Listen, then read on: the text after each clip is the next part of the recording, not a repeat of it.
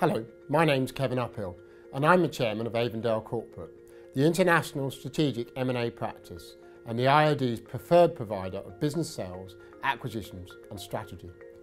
Businesses are entering a unique and unprecedented period of challenge and opportunity, one defined by slow growth on one hand and innovation and digital transformation on the other. Profitable growth is central to business strategy However, these challenges and opportunities are increasing disruption, consolidation and complexity.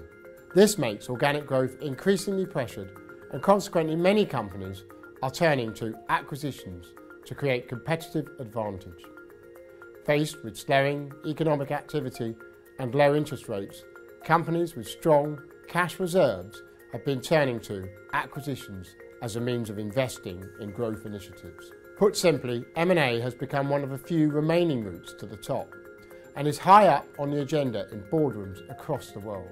In a recent survey of IOD members, 65% stated they would consider an acquisition, placing M&A and shareholder value strategy centre stage as companies reinvent and rethink in response to deep economic shifts. M&A can provide a fast track to transformation and achieving competitive advantage, allowing companies to harness innovation and technological advancement without having to deliver change through organic means. Companies need to become more agile and adaptable, their leaders more innovative and outward thinking.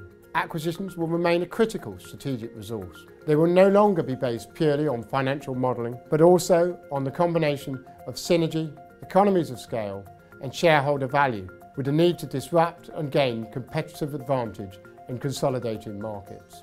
Deals that create scale alone will fail to create value, but crafted strategic transactions that disrupt across sectors will drive success. Corporations need to invest their capital, yet there are no obvious opportunities.